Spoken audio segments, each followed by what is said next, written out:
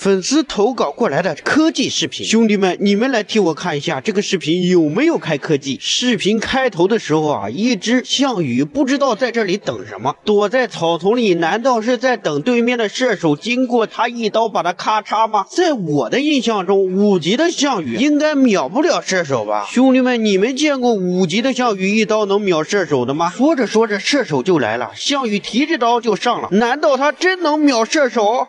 接下来再看这个项羽，我只看见他开着二技能就上了，对着对面的射手一刀就是八千六百八十五的伤害，射手直接嗝屁！我的天哪！还没完，他又一刀六千八百一十六的暴击，蔡文姬直接命丧当场。兄弟们，我都懵逼了！难道这就是专精项羽吗？兄弟们，我还没玩呢，他真的有这么强吗？兄弟们，你们来回答一下，他到底有没有科技？太夸张了吧，这伤害！